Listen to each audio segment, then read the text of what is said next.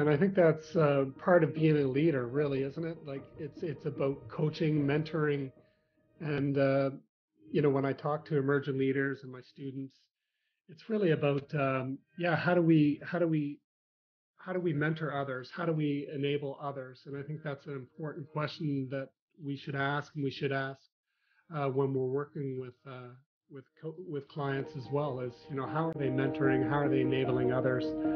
And so, yeah, it's that kind of education of practice freedom is the same thing in, in coaching as well. That, uh, yeah, how are we enabling others to uh, wake up in the world and to, to lead?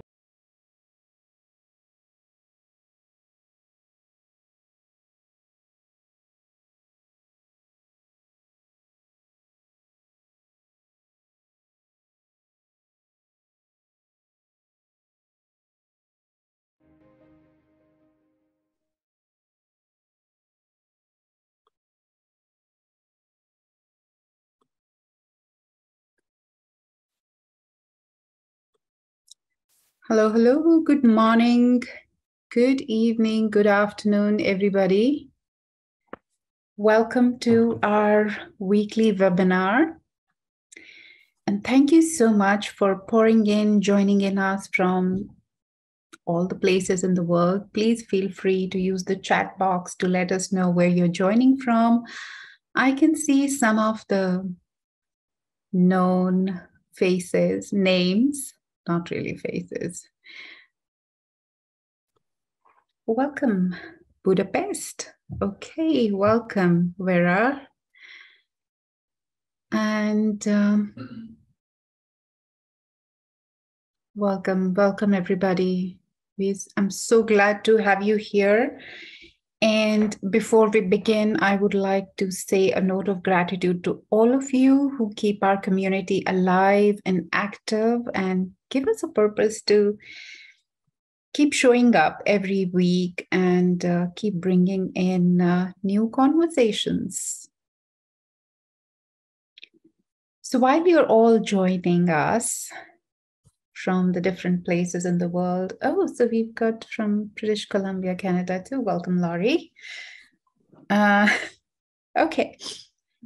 So, allow me to introduce today's conversation and today's guest who we have. Um, so, as you know, this month we've been following up a theme of challenging the status quo. And uh, August is a special month because we get one additional week to have the conversation.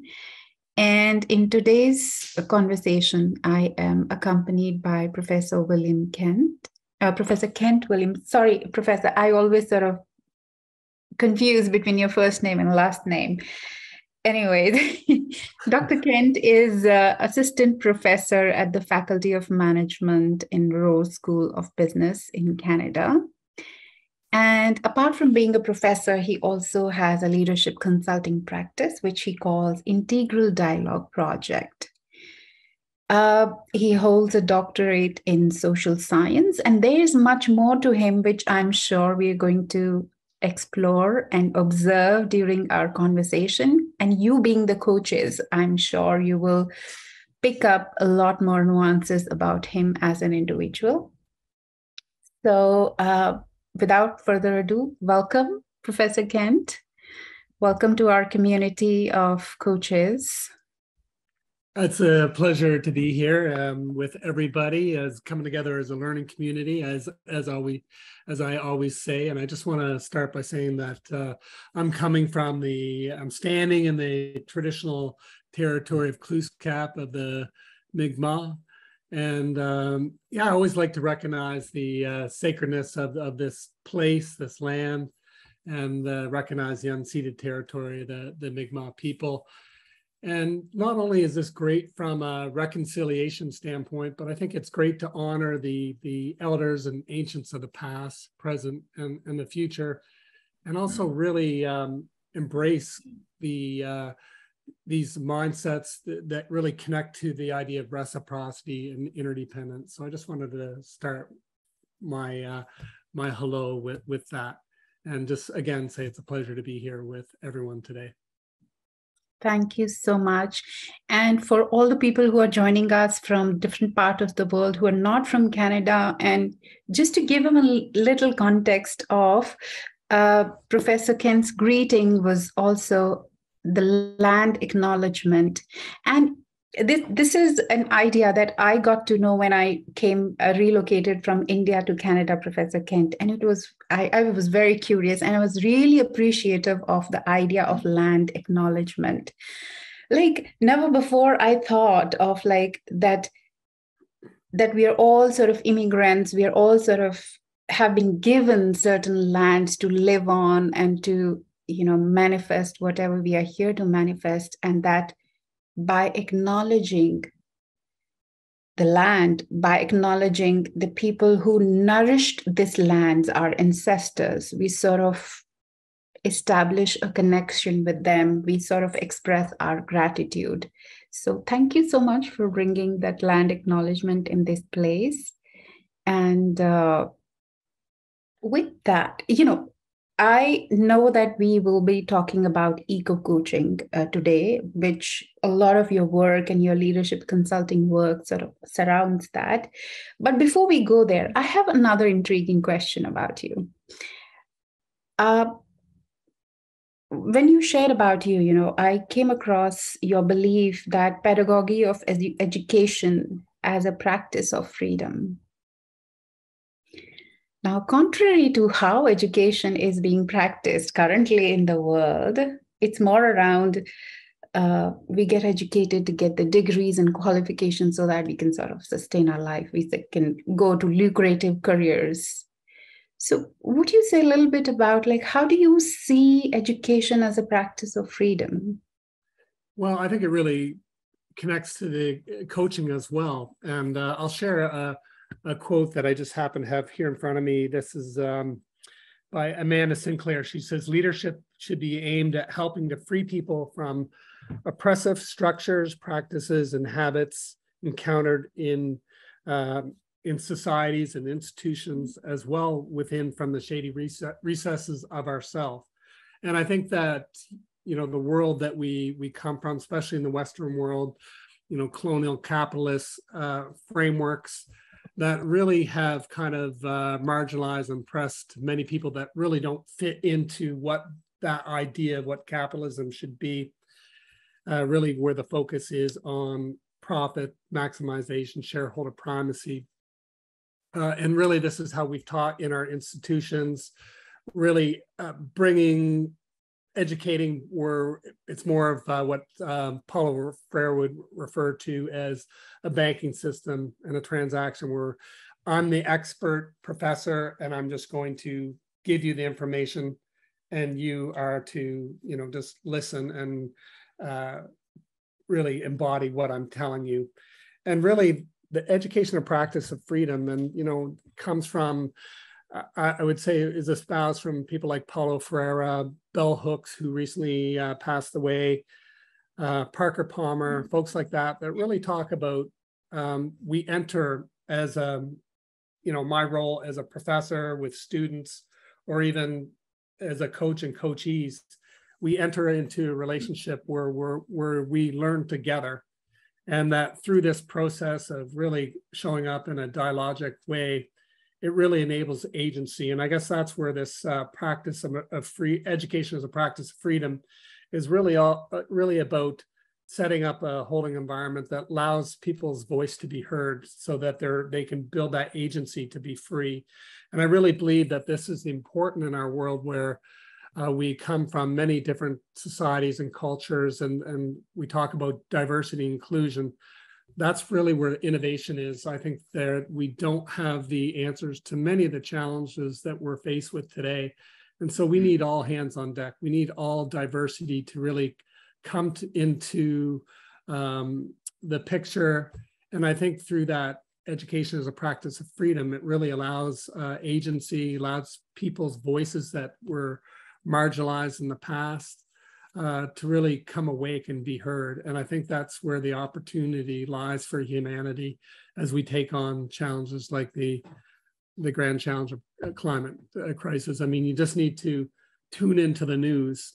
Um, I read uh, uh, media outlets like the Guardian a lot, and when you read uh, some of the headlines, it's it can be pretty depressing in this dystopian world. But there's no doubt that we're seeing a drought throughout the world, uh, and this is causing pressure for all of us, and we're in this together. And so again, I think. Uh, this is the idea that we really need to come together in these learning communities that really enable people's voices to be free and um, yeah, awakened. Absolutely. So I don't know if that I don't know if that answers your question or not. No, absolutely. And I like the way you said that it includes coaching as well, because if we consider coaching to be one of the interventions into adult learning practice, I think as coaches, we are here to, you know, help our clients become free, become free of the constructions of the mind and use their voice, or even first of all, to find their voice and then use it to the right course and concern. So, in a way, I see, and in what you've shared, I see view coaching itself to be one modality which sort of is made to challenge the status quo, to challenge the molds that we've sort of fit ourselves into and look for what are the other ways, what are the different ways to live and be in the world. Yeah, and I think that's uh, part of being a leader, really, isn't it? Like it's it's about coaching, mentoring, and uh, you know when I talk to emerging leaders and my students, it's really about um, yeah, how do we how do we how do we mentor others? How do we enable others? And I think that's an important question that we should ask, and we should ask uh, when we're working with uh, with co- with clients as well. As you know, how are they mentoring? How are they enabling others? And so yeah it's that kind of education of practice freedom is the same thing in, in coaching as well that uh, yeah how are we enabling others to uh, wake up in the world and to to lead? Absolutely. So taking a cue from these invigorating questions that we are throwing more for the coaches to ask themselves and reflect back on and leading a little bit towards eco coaching now it's interesting that eco coaching, which seems like a new niche that is emerging these days, and the point is that we do not have a agreed definition around eco coaching. You know, a lot of people are doing a lot of things.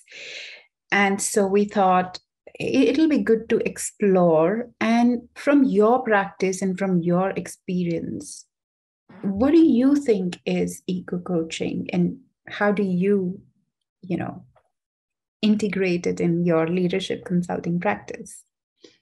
Yeah, that's a good question. And, and I think when we first started communicating um, about this event, you mentioned about eco coaching, and you know we're seeing a lot of this about uh, climate change coaching, eco coaching, and to me, and you know that's enabled me to reflexively think deeper on this. And I think that for me, it's just showing up in a more holistic way again, I think that in the world that we have uh, traditionally known and um, been part of, society has really, we've really, over the last 400 years, kind of with this Cartesian Newton um, way where we separate body from mind and that spirit and so forth, we've really disconnected from where we come from, the, the origins of, of nature. Uh, so we've really kind of placed nature as something outside of us. And in a lot of ways we've become afraid of nature uh, going out into the wilds right? We the wild is something to be tamed or uh, oppressed or exploited. Uh, so we've really kind of lost that connection and i think we're paying the price for it on a global um, perspective right? We're, we we are seeing this dystopian world.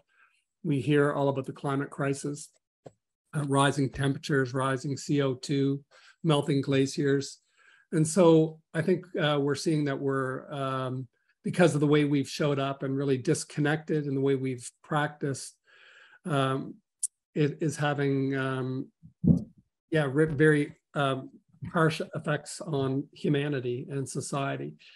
And so I think it's uh, coming back around to things like indigenous knowledge frameworks, where we see all across the world where they've really been the holders and keepers of the land, and they've really always connected to this idea of reciprocity, understanding that it's not just a human centric one way um, way of showing up that we what's in it for us but they see it as a re- reciprocal relationship that they have a responsibility to the land. And um, also they get something back from the land as well.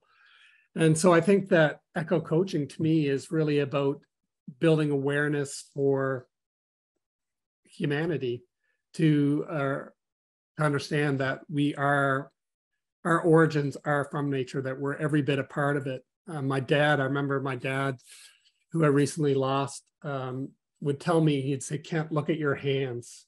You know look at your hands. They're thir- 13 billion years old made out of star stuff right? That out of a supernova the big bang.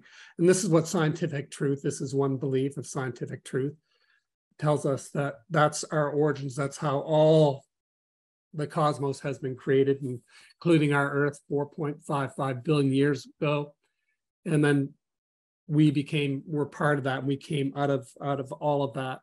And so that my atoms are made of out of star stuff and so this idea that when you start to understand the this idea of um, the earth's origins the story of the universe the story of the earth you start to understand that this is where we are from that it's not something separate from us. And when you start to do practices where you go out and spend time in nature and that connection that can deepen that and w- what else the other side of it too is this uh, i guess eco coaching. And I, I, was telling you about a program that i just came out of this past weekend that was called rewilding the, the leader where i took uh, individuals out into the wild um, where we didn't even have internet connection. It was just a three day three and a half day program. But what i when i talked to uh, the participants it's really about which is is part of a coaching practice i would say is is to tell them that you know this deep connection with with nature is also uh, an opportunity to deeply connect with yourself. Uh, because when you start to sit still and silence kind of all that cultural uh, way of being it really sheds away and you start to connect to that uh, really uh, deep down authentic uh, person that you are uh, that can connect to what's important, like values and what's your purpose.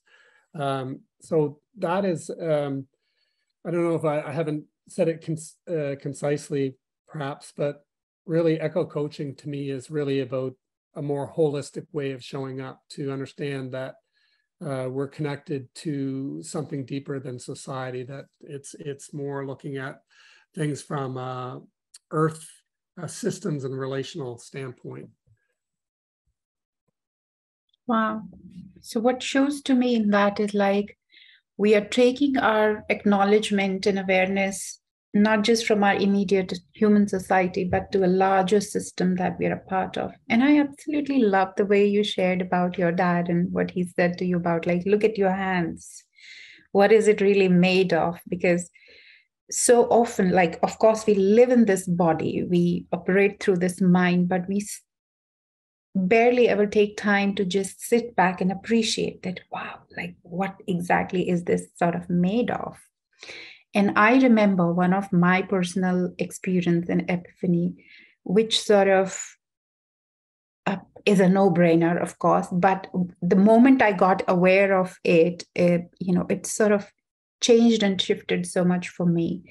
So it was when i was uh, carrying my second baby my boy and I went for that normal ultrasound work and all.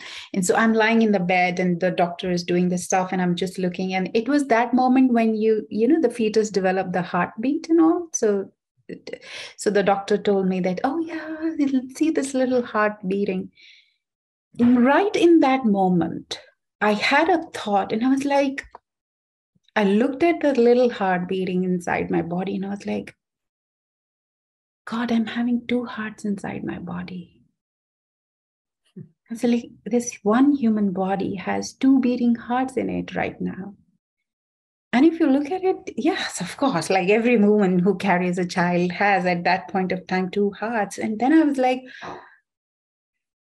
it's it's I don't know what was in that epiphany in, in that moment, but just becoming consciously aware of that fact sort of changed so much in me, changed the whole way I looked at me and my relationship with my children. And, and there was something different in that moment. So I, I have the same feeling when you say, look at your hands and say, what is it really made of? It's made of so much of history. It's made up of the star elements that we are. So thank you so much for bringing that insight into the conversation today. Because what I had been sort of uh, reading and researching a little bit on internet about what eco coaching is like okay so you go in the nature you take the walk with the client and do all of that but i reckon that this is way much deeper in the way you've sort of explained and shared it. So, can you say a little more about this rewilding the leaders? Like, what exactly happens, and how do you bring that sort of an awareness in the in the people? Yeah, I first uh, got really. I, I've always been uh, from my background as a I think I was on my dad's back at when I was just months old, uh, trekking through the Rockies. So I was always, uh, from my upbringing, always really connected with nature and the cosmos, out starring and so forth.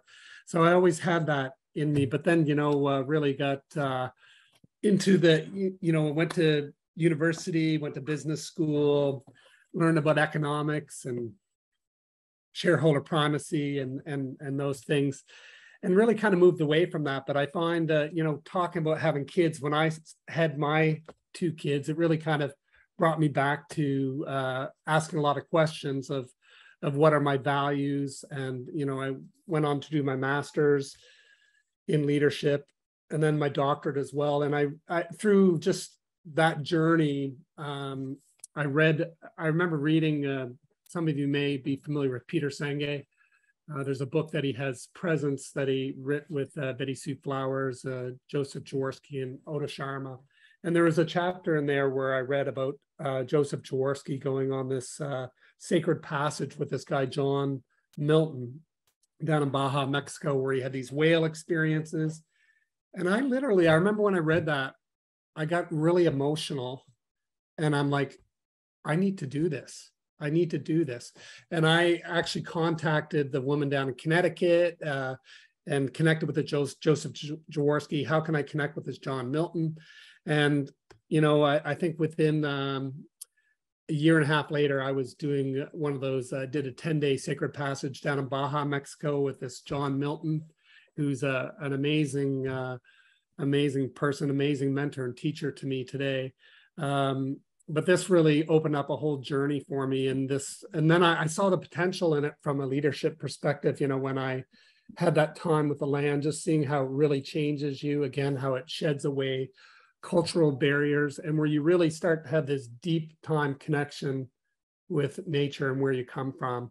And I think the another deep part is that all one time with yourself. And you start to really understand who you are.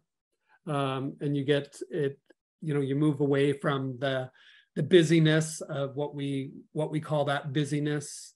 And um, you start to see things differently and it really does change you changes you forever uh, so that kind of opened things up for me. And then I did uh, my doctoral research around, around that as well. And, you know, what it's clear to me is that um, this, uh, when you spend time out in nature, it uh, really does kind of open the, a pathway to yourself uh, and to where you come from and does change the way you see things. You see things a lot from what you hear from indigenous knowledge frameworks where it talks about this idea of interdependence. You understand that there's a web of life and we are just part of that. And also this idea of reciprocity that we we come together in reciprocal relationships. And this is through all of society and even moving outside, you know, all the animal and plant life, we're all interconnected to that. And really, uh, it, it makes you keenly aware that we need to, all our decisions and actions should should bring this idea of interdependence and reciprocity into into it and we have not done that from a humanity standpoint. And I think this is why we're in a lot of challenges that we're in. So I've seen the need for, and um, the pandemic has kind of shut down these opportunities, but uh, I've been waiting, um, and finally I was able to uh, get back to having a, this rewilding the leader nature retreat, which I just had my, we just had one last weekend where I gathered uh, people. I had, I actually had someone from New York City flying from New York City. I had uh, another participant from Toronto, and the rest were from Nova Scotia. And it was in the the uh, Cape Breton region of, of Nova Scotia on this on the coastline. And the coastline really hasn't changed a lot over the years. It's pretty wild. And uh, through this time, we spent a lot of time just talking about some of these things about reciprocity. We do, we even bring art in there because art has a way of decentering people. Um, so we bring art, expressive art in there that comes from the school of Paul Knill and, and, and, and so forth. And um, yeah, and it's just an opportunity to really explore explore how people are showing up in this uh, connection with nature and also the participants do uh, a 24 hour, what I call all one time, where they go out and uh, pitch a tent in the wild right on the coastline. Um, and we experience amazing sunsets, seeing the sun rise. Actually, we're spinning towards the sun in the morning, but we saw that every morning, the sun come up and uh, as we spun towards the sun. And then also at nighttime, the same thing, and get to see the Milky Way and yeah, just a really, uh, really great way to show up. And uh, everybody, I, I, I'm just getting feedback now, some formal feedback. I've got it out there, but I can tell that everybody came away with, uh, you could hear it in their voices, uh, came away with uh, a new way of uh, showing up. So, yeah, if anybody's interested, we're we're having one next August. If anybody's interested. Yeah, I'm sure, I'm sure that that does have a lot of value. And while you were uh, narrating it, you know, one question was popping up in my mind, but I think by the end of it, you sort of answered that question. So the question was like that, and I was just thinking that yes, okay, so one one time you go out and you experience this oneness with the nature and you see that how you are a part of a larger system and not just the human society in the concrete jungles we've built around ourselves and but when you come back to again living in your cities and surroundings would you sustain the same thought and feeling? But i think the way you answered it is in the like you get a way of looking at yourself yeah, which I, I think, think, is the key yeah what we teach uh, what we try to embody is this idea of reflex the importance of reflexivity uh, to continue we get caught up in the fullness the sea of circuitry in our real world uh, so it's learning to slow down to really uh, connect with yourself and the world that surrounds you is really what it's about so teaching those practices we do some Tai Chi and Qigong um, uh, matter energy practices. Um, we do all of the time is really spent out. We have a, the weather was great. So we had a learning circle outside. So pretty well all of the, we do have a main cottage there, but pretty well all the time is spent outside, uh, whether on hikes, um, but just being in the land and uh, connecting with the land. And I think that and I think this goes back to some of Robert Kegan's work and this work around constructive development and developmental theory, which we a lot of people know from coaching that when you have a shift in mindset, right? When you when you are able to provide a stretch challenge or differentiation, it really changes mental models uh, forever that you can't go back. Uh, and it's kind of what David Bohm would refer to as moving conclusions. You know, our conclusions continue to move. And I think through this, what I call the stretch challenge, where people's mindsets are challenged through this process, it really does uh, moves from that idea of being embedded to differentiation and enables uh, and it can it can cause what I've found as well. It can cause uh, people um, it can cause some disruption, right? With any with any type of new thinking. Um, but it, that's where there's this breakthrough, what I see as a breakthrough opportunity to new ways of knowing and, and that from a leadership terms it can allow for a new narrative uh, new leadership identity as well. And you where you start to uh, see the world in a different way you start to see yourself in a different way. Yeah absolutely. So it's not as much around just focusing on what habits you have or the way you're leading but going deeper to the root of like where is all of this emerging? Where is your way of living emerging from? And at that level when there is a shift happens in the way you start to see yourself or see the world around you so that vision sort of then carry forward. I re- remember something of that sort happened to me when i went out for a 10 days vipassana retreat. Although it wasn't in a in a in a wild setting though i now fancy that you know vipassana combined with the wild and the being in nature would be even more powerful but it was just a 10 days of just being with yourself. Although there were other people also but you're not even supposed to interact or talk to anybody or even have an eye contact or touch. So it's like you are on your own. You're not talking. You're not having any internet. Like you said this is nothing of that sort in nature. And that was also a very uh, liberating a very transformative experience for me and i think that bringing in nature and using nature as your playground or or your space like the nature holds the space for you while you coach your clients or while you sort of walk the journey with them I think it, it it is definitely quite powerful. Yeah, and I think that the idea of eco coaching too, as we're having this conversation, I think it's even uh, as much as finding out your true nature within, right? That understanding that we put nature as something outside there, and we and we separated ourselves from that, but really understand that we are a part of that, and really going to what is your true nature. And I think that you know your example shows that you can get it more than you can discover your true nature in many different ways and i think it's just really creating that space uh, that holding environment that just really allows you to connect deeply with yourself. And uh, it's interesting because one of my participants he is um, a senior leader in his organization.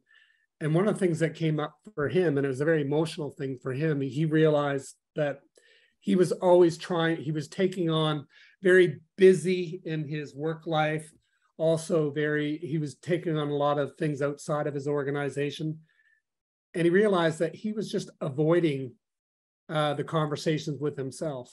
And I find that there's a lot of people out there, and I'm sure we've all encountered those uh, people that uh, we are coaching where they just really keep busy lives. And it's sometimes people avoid that reflection time because they don't want to see what is in the mirror in that ref, in that reflection but it can be a really powerful thing when you can enable people to be able to see that reflection of themselves and that's where the real growth opportunity is um, and that can be a hard hard uh, space for people to go into it can be very emotional as i experienced with this one uh, individual um, but when it, it can be a real breakthrough for the individual as well, when they start to connect with that idea of true nature. So, you know, when I think about it, eco coaching could be that idea of really seeing that true nature of yourself.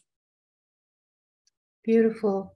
It's so wonderful. And thank you for calling it out because that happens all the time. We sort of build the lives around us and so that we don't get to see ourselves you know, I'm and so I, busy, I'm so busy, right? We hear this. Yeah, I'm so busy. busy I don't have time for this. I don't have time for that. I don't have time to write in my journal. come on. Yes. What is it that you're trying to avoid? yeah. That's interesting.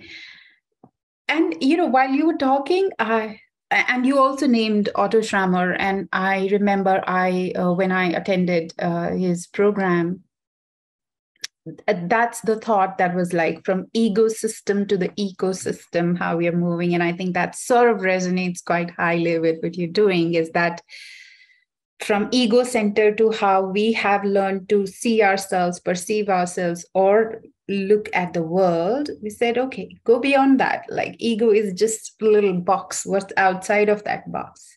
There's more to life. There is more to you as uh, as an entity. And so it seems to me that eco coaching is that systemic coaching in a way where you include uh, nature. So nature is the larger system. Yeah and i think that we all have ego right? And i remember john milton uh, who i mentioned earlier one of my mentors saying that ego we all have ego right? Um, and it shows up in pain and pleasure right? When things are going well it's like how great am i? Or when things aren't going well you know it's like oh um, you know you, the blame goes on. And um, but really i think it's it's being aware again that when we slow down to be aware that ego is presenting in pain and pleasure and then start to understand um, again the, the world that surrounds us that there's this otherness right that we we're not so centered uh, and our ego can put us there really centered in this idea of what adam smith called uh, self-love right or self-interest. Um, and so uh, and the capitalist world is very good at kind of putting us in the ego and being self in putting that self-interest first or self-love but i think it's really understanding that this idea of otherness that uh, we live in as this uh, and i recommend a good read is uh, arturo escobar and i have that book here. I love this book here. Um, he calls it pluriverse politics but just really understanding that we live in a, a pluriverse and that we need to uh, not only balance our, our self-love self-interest but need to balance the for the common good or that otherness in the world. And so that and i think that's the idea of balancing the the the ego uh, and asian cultures uh you know they talk about the yin and the yang and and so forth. But yeah i think it's finding that that balance. And i think when you get to be more eco centered uh it really does connect to the idea of otherness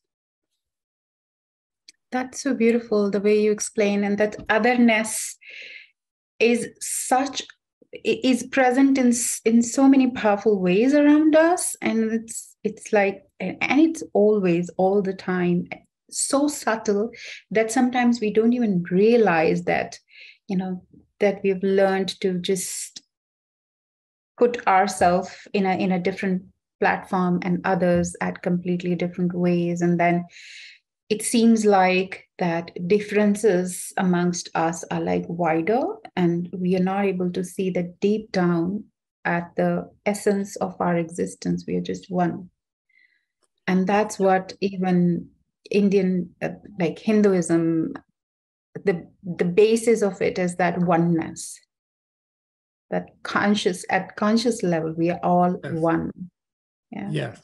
Yeah yeah, and David Bohm and Krishnamurti, I don't know if you know their dialogues, uh, uh, philosophers uh, from way back when, but they talked a lot about this uh, collective intelligence, this oneness. And I, I love that concept uh, that uh, you just explained that comes out of the Hindu, Hindu religion of oneness. I think that's really important it's very interesting. I would definitely love to read all of these books.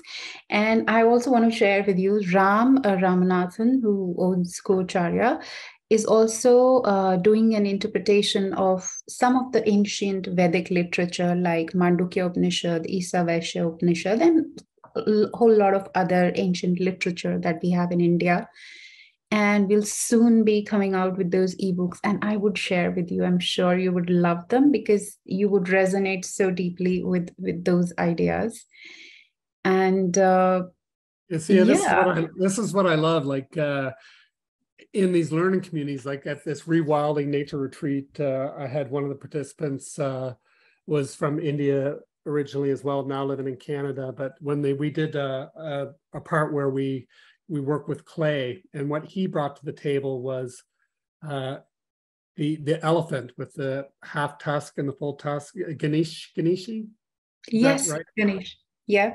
And he talked about that in the perspective of how we were showing up, and yeah, there's uh, so much to learn uh, in this uh, world from one another, and this is what I really feel. My definition of leadership is really, it's not that it's a, a you know we've we've put leadership as a, this person or collective, and traditionally it's been this white Euro male showing up charismatically, solving all the problems. But to me, it's it's not even a person or a collective. It's it's this mutual participation of diversity that comes together, and it's that space between that bubbles up, and that's where the this innovation, I think, new exciting ways of showing up in the world uh, come from. Because when i hear you talking about uh, these different uh, frameworks it's like yeah i want to learn about this right? And that's where i think there's if we can just open the world to uh, this uh, type of excitement to, to, what we can learn from one another uh, i think we could do some amazing things. Yeah and even now it shows to me that just opening our minds that's just bringing ourselves in the space of possibility to explore and and from approaching something with a curious mindset also helps open it. And eventually if we find out that oh no yeah we, we feel a lot same than different actually. And and that sort of a beautiful epiphany happens. And one question that uh, that i sometimes think of and i want your opinion on that is that like currently we are listening so many things happening and going around in the world. Yes we know like scientists have been saying about the global warming and what we are doing to the earth for so many many years and then countries sort of collaborated around that. But now seems like the whole world is ready to go on war with each other and then there are natural calamities like flood in, in one part of the world and then drought in other part of the world. So it's it seems like it seems like the end is closer than we, we ever thought it would be. So in in such a scenario how do you think we we make sense of what is it that we should be doing? Yeah. is there really something that we, we can do here? And and in your view like what is that way forward for us? Yeah. Well it's it's a tough position because and i hear for, i'm doing some research around this right now hopelessness and helplessness. And this is what i've heard from my the emerging leaders i work with students that they are you know we are all presented with this idea of a dystopian world. We see it in our movies uh, video games you know it's everywhere. And the news so we're presented with this idea of a dystopian world. And so what kind of shows up is this idea of I can't, I've, there's no hope for the future. I've heard students tell me that um, I'm not going to have kids because they don't feel like there's um, a good future for them. Or I, I, hear that they feel like they can't make a difference.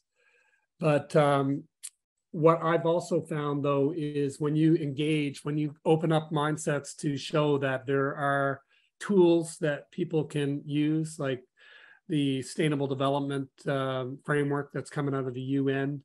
Uh, also understanding this planetary boundaries framework that comes is came out of Europe about a decade ago. That's just starting to get momentum. Um, when people start to see that there's tools that they can apply uh, and how to do business differently, uh, that world that I live in. Um, it's they start to see that yes, I can make a difference, and then also they start to have hope for the future. And I think that we need to look at the history of humanity. That all when we when we get when we lean into conflict and really take it on, that it opens up creative portals for opportunity.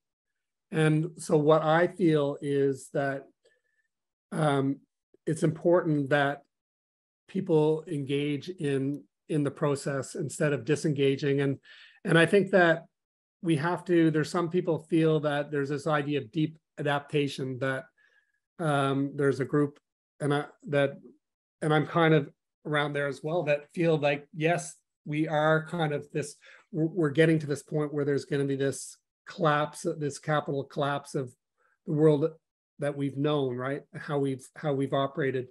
Um, but it doesn't mean that we can't do things differently. And I think that we need to start preparing um, to be to mitigate and also adapt. And this whole whole idea you hear all the time, and I've even heard it coming from uh, press releases from the United Nations and so forth, is we need to save the planet. And I think that from our ego, since we're always in our embedded in our ego. I think we need to get away from that because we know that when you start to realize history of the planet, it's 4.55 billion years old uh, years, and we've been here for a fraction of that, and the planet will continue to go on with or without us. Um, and that uh, so it's this idea of saving the planet is is a myth in my in my opinion. And i think it should be more centered around we need to save humanity. How do we how do we save humanity so that we can continue to develop and flourish on the planet? And i think when we start to have that mind shift then we'll be able to show up and do things differently. Um, and we are. Things if you look around there is a lot of changes happening. But the question is is it quick enough? And we know that we're very as human beings though we are nothing but atoms and always shifting and changing we're very habitual and pattern in how we show up in everyday life. And so how do we kind of quicken quicken that to um, embrace kind of the changing world and the complexities? And i think that's where as coaches where we can enable people's mindset to connect to this more interdependent world to this um, to see the reciprocity in the relationality and the communality of the world that we show up in Wonderful. Thank you so much for reframing uh, this whole thing about save the planet to save the humanity because it seems more like, yes, something that we can influence or we can do about it. And I, I love the way you said that, you know, again, we need to continue to keep looking out for you know where we are started to operate from our ego system. Like are we looking at some challenge also from our ego? Because ego of course want to have that sort of a magnanimity like oh i did something great i did something huge. And it shows up sometimes even in the personal individual coaching conversations also where you notice that the client is actually deliberately like people choose not to work on issues which do not seem like grand enough worthy enough or important enough. Whereas everything that or every challenge or every hurdle need to be addressed need to be attended to. So thank you so much for bringing back again the you know uh, to the point that hey are you again getting trapped into the, your ego while looking at the entire situation and it does seem hopeless when we look at it like that.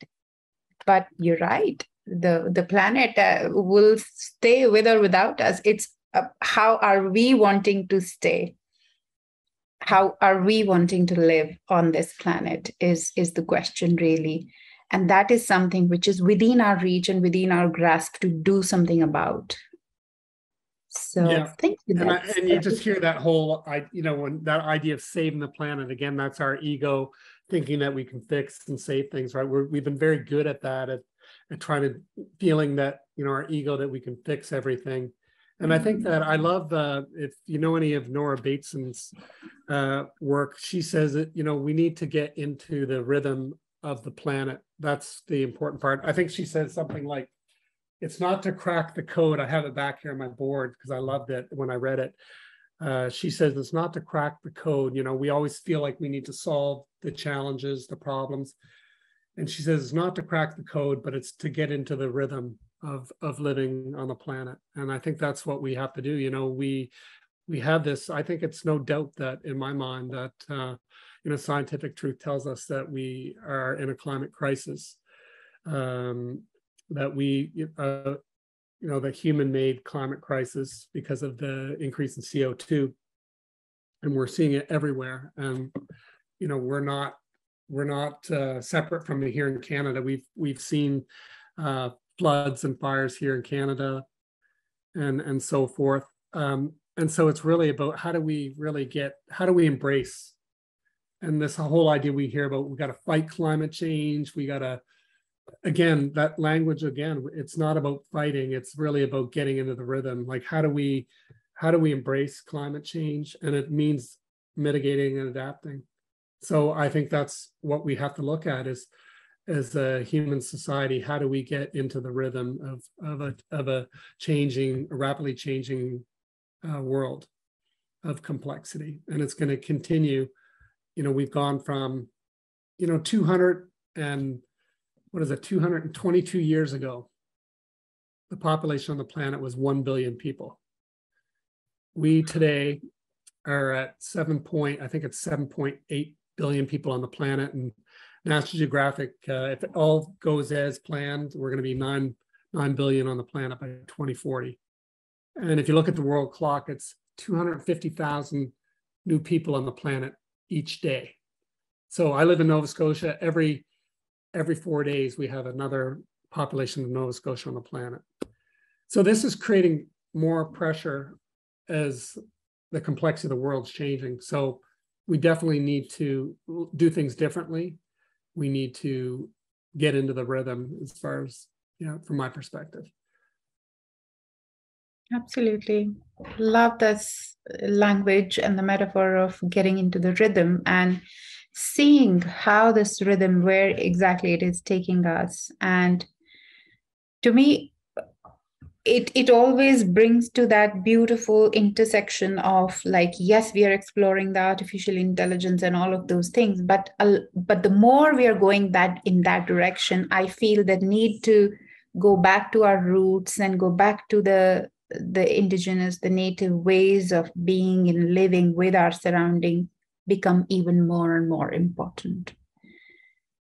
So it's not like we have we are moving in one direction only. No, it's like an, how are we expanding and including everything alongside. So yes, we got to embrace technology, but not at the cost of the ways of our ancestors, not at the cost of the wisdom of those people who probably knew this rhythm better than we know it now. So it's also yeah. about reaching out to those places and learning. Yeah, and it's really important. You bring up important coming back to indigenous knowledge frameworks, and I love um, Albert Marshall, who's a Mi'kmaq elder here in Nova Scotia, he coined the frame two-eyed seeing, and two-eyed seeing is the idea. If you're not, uh, if you don't know the definition, it's really about looking out of one eye from an Indigenous perspective, another eye from a Western perspective.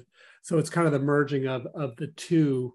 Um, and I think this is so important again. Um, and this is this idea of diversity, bringing the diversity of our world together. And um, you know we've seen indigenous um, indigenous people across the world. You know, you look in Brazil, they have been really the protectors of the land and they're paying for it with their lives. More indigenous people, land protectors have been murdered um, and it continues to grow every year under in Brazil, in, in South America, protecting uh, the land. They see because they've always understood the importance of it, the reciprocity and, and interdependence. And if that we don't look after it, uh, it's not good for the future.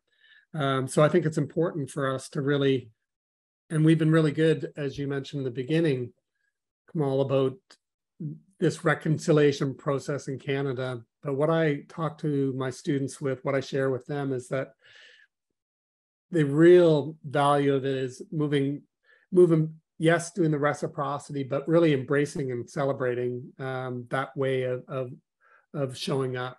That there's real value because that's what they really espouse this idea of, again, interdependence and reciprocity. And I keep on saying these words, but I really see that is so important for the future of humanity. Excellent, wonderful. You know this conversation is opening up and expanding my way of looking at uh, not just eco coaching but coaching itself. And i i've observed and noticed so much of reframing and so much of you know having a deeper look into our own language like are we is our language more egocentric or it's more ecocentric it's more something that we can really influence, something which is more liberating to us instead of putting us into the hopelessness situation. So I think that's also one of the important takeaway for me from this conversation. Yeah, and I don't know if anybody out there uh, is doing a lot of work with expressive art, but I really believe this idea of art uh, is so important um, from a leadership perspective in the business world. We don't we don't always see the the value of it, uh, or people are afraid, you know, because it's art. But uh, from my experience, since I've really been introduced to it, and I really encourage people out there to do uh, expressive art. You can look it up. Paul Knill, who's out of Switzerland, uh, uh, the Levines, uh, Shaun McNiff, but they do, and I've really incorporated this work into work with undergraduate MBA students. Um, and what we, from a human perspective, we we we connect to the arts, and the arts really allow us to decenter. And that's, I think, one of the big things when you do expressive art therapy or sessions. It really allows the individual to decenter from that known language, that known consciousness.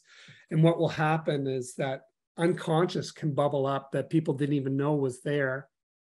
And it can enable new language because we get so connected to um, old language that we can't let go of. And I think that we do need to start using new language in how we show up. And I think that when we when we do things like expressive art, it really decenter de- decenters us from old ways of knowing, knowing and allows new things to bubble up, which can be amazing. And I've seen it. I, I'm always amazed when I when I work with it, and I'm there's that always that inner critic and uh, the in in myself when I'm like, oh, are people going to be receptive to this?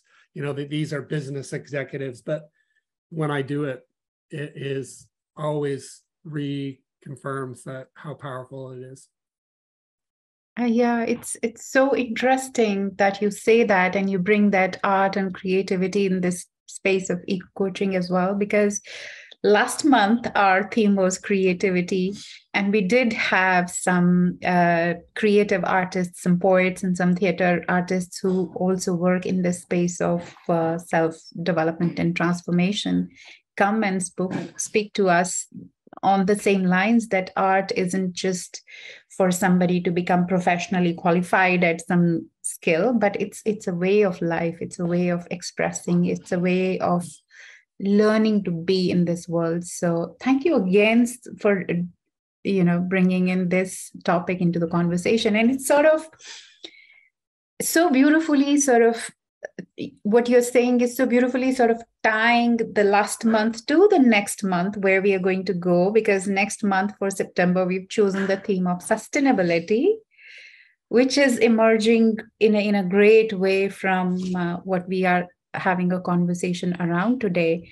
And although we are like coming close to our conversation but i would really love for you to share with us what you're doing in this space of sustainability and uh, leave us coaches with a question that you would want us to reflect on for the next month we will put that in our community portal on coach nook so that people can revisit and connect with it yeah, sure. Uh, recently, I was awarded a federal grant, the the Shirk SSHRC grant, uh, Social Science and Humanities Research Council, uh, a large grant to explore the Sustainable Development Goals. And I'm sure most of you are aware of the UN's um, initiative that has the 2030 agenda, which 17 Sustainable Development Goals from no hunger to gender equality to reduce inequalities, life below land, life under land, justice, uh, partnerships, climate change. So there's many of these goals. If you and if you're not familiar, you can just look up Sustainable Development Goals. And what I've found is that a lot of there is not a lot of awareness. Um, these these were adopted of the Millennial Goals, um, but they came into fruition in out of the Paris COP COPE, I think it was COP uh, 25 or 2025 uh, in Paris in 2015. They were adopted. Every country uh, signed off except for two. Uh, so it is a world framework that we've agreed upon that we really need to embrace this framework to be more to to really flourish on the planet and to right the ship, so to speak. And so, how are we doing? We found out uh, out of uh, Copenhagen, uh, I believe that was COP 26. I think I've got them right. because COP27 is coming up in Egypt, I think in December, but basically saying that we're falling short of those goals. So I was really interested in what are we doing from a university community at Dalhousie. Uh, we've yet to make a, we're doing things around sustainability, but we've we've yet to make that uh, major statement that say we're going to be carbon neutral by 2050 and have a really coherent strategy. I we I haven't heard that. So I really decided, okay, I want to explore sustainable development at my university and use it as a case study. So I put a, a, a study grant proposal together and I was awarded this grant. So uh, I've just freshly hired a research assistant. We'll be hiring another one coming up, but uh, working with some other researchers at my institute where we have brought different players uh, across the university where we're just going to explore that and really try to understand things at our institution. So first of all, we'll be uh, exploring where are we right now from a baseline uh, sustainable development and how does it reflect on the sustainable development framework.